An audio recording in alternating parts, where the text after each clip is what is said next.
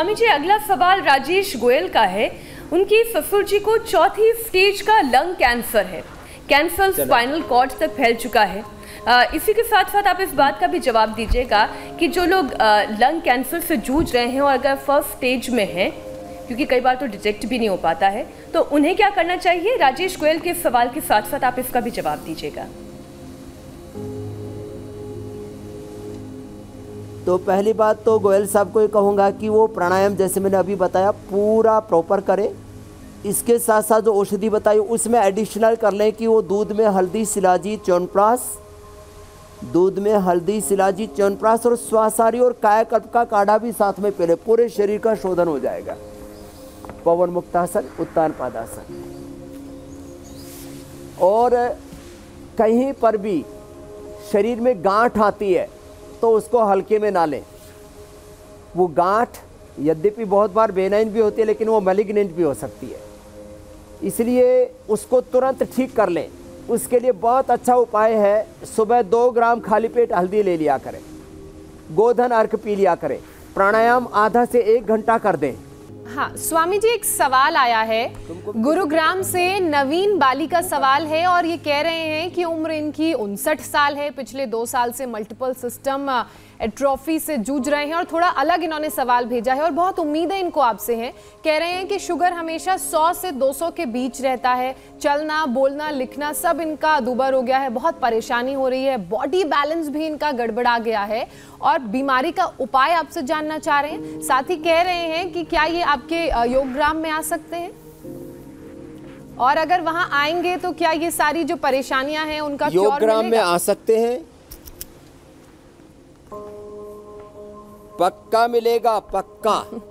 इनका बैलेंस आ जाएगा। मैं तो यहाँ से मोटर न्यूरन डिज़ीज़ से लेकर के जो एक कदम भी नहीं चल पा रहे थे, अब वो पूरा एक एक किलोमीटर चल पा रहे हैं यहाँ पर। तो इनको ज़रूर लाभ मिलेगा। घर पर थोड़ा सा क्या होता है खान पान और जो पूरी सुबह से शाम तक थेरापी देके पूरी बॉडी को डिटॉक्स करते हैं, ये भी एक बड़ा सिद्धांत है।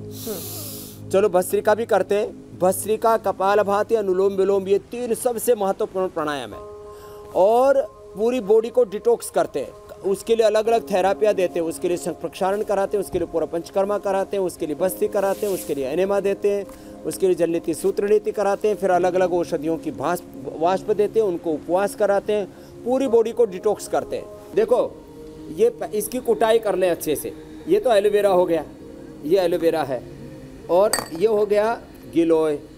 इसको अच्छे से कूट लें। फिर ये हो गया नीम।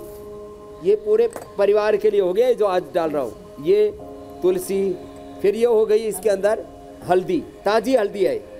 हम यहाँ योगग्राम में ए, करीब एक एकड़ के अंदर बो रखी है हल्दी और सबको पिलाते हैं। फिर इसके अंदर ये वीट ग्रास ये वीट ग्रास जो है ये खूब पिलाते हैं हम अपने पेशेंट्स को सबको है ना?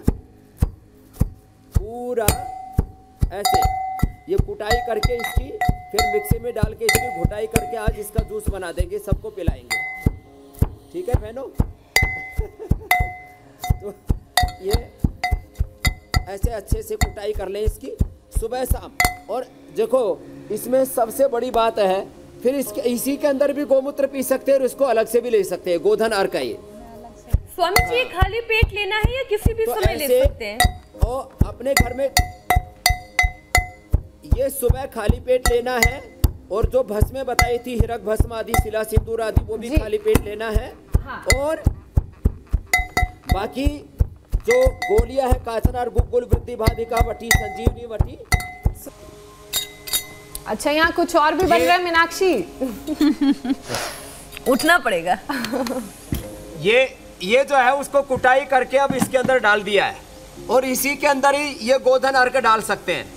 ये गोधन अर्क भी इसी के अंदर डाल सकते हैं और किसी को बकबका लगता है तो अलग से भी पी सकते हैं। तो इसको ऐसे डाल करके अब इसमें स्वाद का क्या लेना देना और ऐसे इसकी पूरा ऐसे इसको घुटाई करना है। कैंसर ज़िंदगी का स्वाद खराब कर रहा है इससे अच्छा तो ये जड़ी बूटी ले लेना है।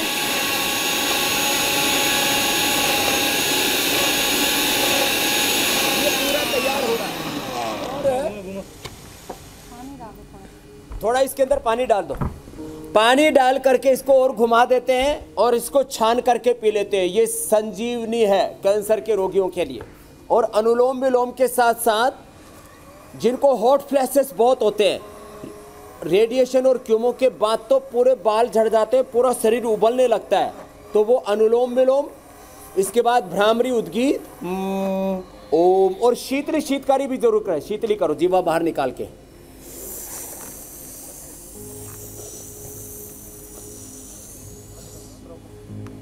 ऐसे ऐसे पूरा शीतली और इसको सात से ग्यारह बार तक करें और शीतकारी। तो ये चलो बंद करो अब इसको और इसको अब छान लो हाँ? देखने में तो बहुत तो अच्छा और फ्रेश लग रहा है स्वामी जी। ये तो एकदम फ्रेश ही था इतनी ज़बरदस्त घुटाई की इसकी। अब बस अब लोग ये समझ ले कि ये गन्ने का जूस है और चुपचाप पी जाए पिलाएँगे